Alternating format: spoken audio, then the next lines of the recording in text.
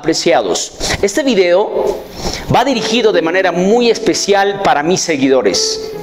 Para mis seguidores que me han estado pidiendo que grabara por lo menos una parte de mi historia, de cómo entré al mundo del coaching, las conferencias, el liderazgo, los negocios, las ventas. En primer lugar, no puedo dejar de agradecer a nuestro Creador, a Dios, por darme todo. En el año 2015, mi vida dio un giro realmente trascendental. Empecé el mundo de los negocios eran tres negocios y en esos negocios en muy corto tiempo fracasé. Llegué a tener una deuda que en mi vida de universitario era casi imposible poder pagar. Y para poder solucionar este problema, optando por un empleo se me hacía muy complicado, porque a esa edad me iban a pagar un sueldo mínimo o tal vez un poco más. Entonces, la única y la mejor opción era continuar con los negocios, muy a pesar de que estuve en una crítica situación hablando económicamente. Pero ahí es donde empecé a observar los problemas como oportunidades.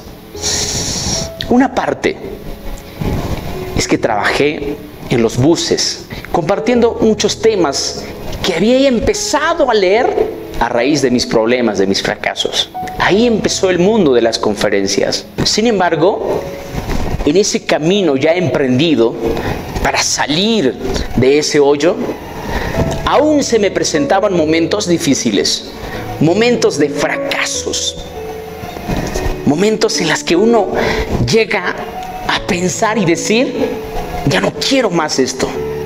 ¿Por qué me he metido en esto? pero también tenía motivos tan grandes como es mi familia, las personas a quienes más amo. Y pensando en ellos, seguía caminando. En sí hay mucho que contar de todos estos años que pasaron. Pero he aprendido dos cosas. Uno, todos los problemas, todos los problemas, cual sea su magnitud, son las mejores oportunidades para demostrar tu potencial que llevas dentro y hacerte grande. Dos, los fracasos.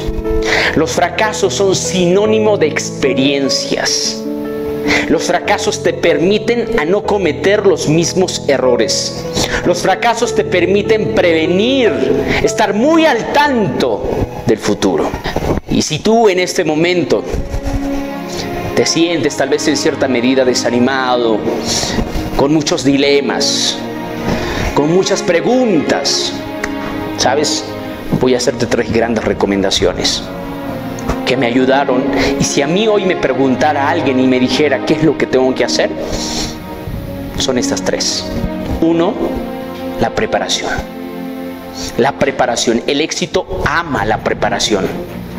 Y esa preparación comprende uno en leer, leer, leer. En llenarte de información positiva. Agarra libros, audios, videos que te empujen. Dos, la planificación. Una vida sin un proyecto, sin un plan, es una vida sin sentido. Es un barco sin sentido. Tiene que haber un plan. Tiene que haber un proyecto ese camino que te va a conducir a lograr tus sueños, que te va a permitir alcanzar tus metas. Y por eso, aquel que no tenga un plan, por más que esté trabajando, el trabajo muchas veces será en vano. Y tres, la acción. Por muy preparado que estés, a pesar de que tengas muchos sueños, anhelos, si no te pones en acción, nada va a suceder acción. Haz que las cosas sucedan. Empieza con lo que tengas. Y si te vas a caer, levántate. Y siempre digo, tú eres como la pelota. Mientras más fuerte caes, tienes que levantarte más arriba. Pero acción, acción masiva, siempre acción. Y así alcanzarás tus sueños. Sí se puede.